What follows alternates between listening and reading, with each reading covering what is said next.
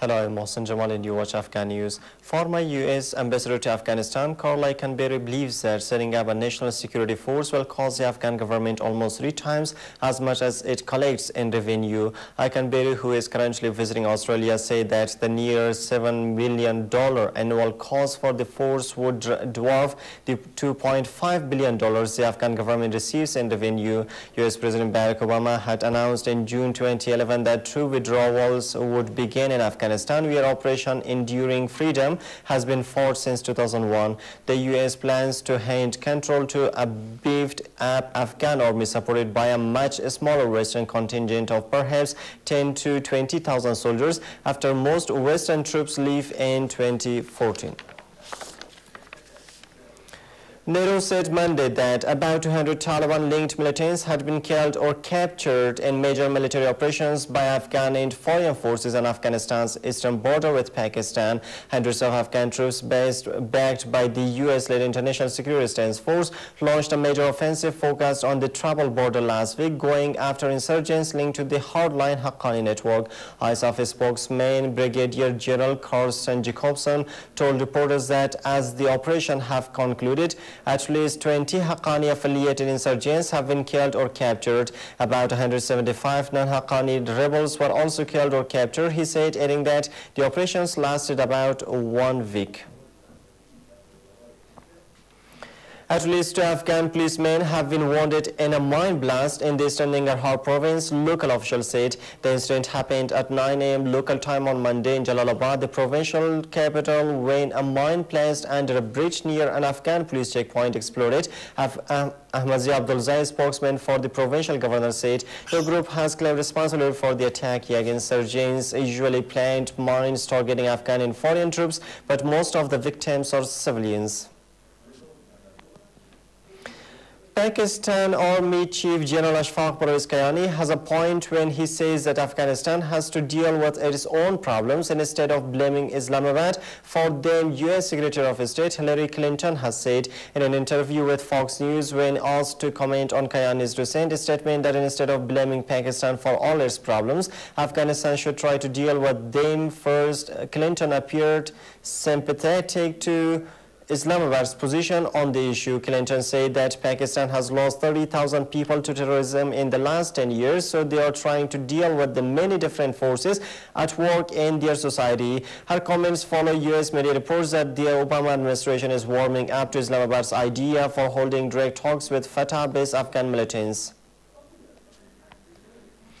Rescue teams are striving to reach hundreds of people believed to be trapped and rubble following an earthquake in eastern Turkey that killed more than 200 people and injured more than 1,000 people. Recep Tayyip Erdogan, Turkey's prime minister, visiting Van Prains uh, province early on Monday, warned that the death toll could rise as more victims were found in the wreckage of shattered buildings.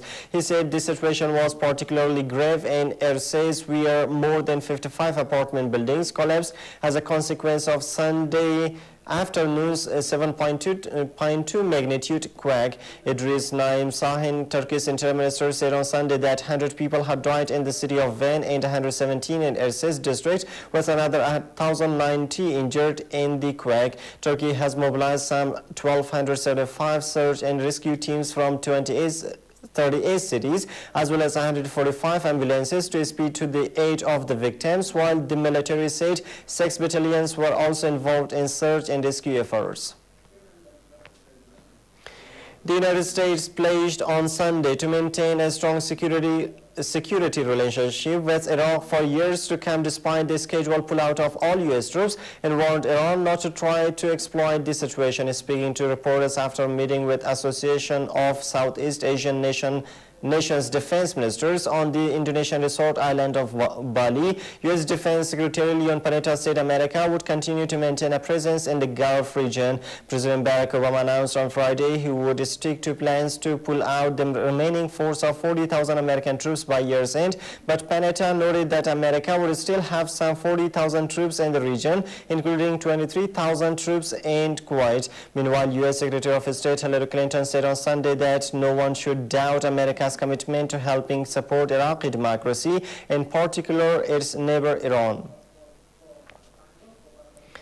Negotiators from the United States and North Korea have begun talks in the Swiss city of Geneva re regarding the rev revival of stalled negotiations over the Asian country's nuclear disarmament. The two-day discussions on Monday comes nearly three months after U.S. and North Korean officials met in New York, ending a long break in direct engagement with Pyongyang since direct talks collapsed in 2009. Other topics that could be discussed in Geneva include food aid to the impoverished North, reuniting reuniting separated families on the Korean Peninsula and recovering remains of U.S. troops missing since the Korean War. Washington insists that Pyongyang halt its uranium enrichment program and allow UN inspectors back into the country before resuming the multilateral talks. North Korea, however, has called for a restart of negotiations without preconditions. The National Transition Council has declared the liberation of Libya eight months after the uprising against Muammar Gaddafi's 42-year rule began. Thousands of people in Kish Square in Benghazi, Libya's second city, sang the national anthem and waved flags, both of which date back to the monarchy, which Gaddafi overthrew in a 1969 coup. Mustafa Abdul Jalil, the leader of the NTC, knelt in prayer after taking the stand in the celebration on Sunday and promised to uphold Islamic law. The NTC leader thanked the Arab League, the uh, United Nations and the European Union for supporting the uprising, which ended with Gaddafi's death on Thursday. Abdul Hafiz Ghoga, the Council's vice chairman, said at the ceremony that Libyans would uphold Libya would uphold all international agreements and treaties and that vote counting is underway in Tunisia after the country's first ever democratic elections to choose an assembly to rewrite the constitution nine months since former President Zain al-Abidin bin Ali was toppled from power. However, with an unexpectedly large number of ballot papers to count, election officials said plans to announce results on Monday night might have to be delayed.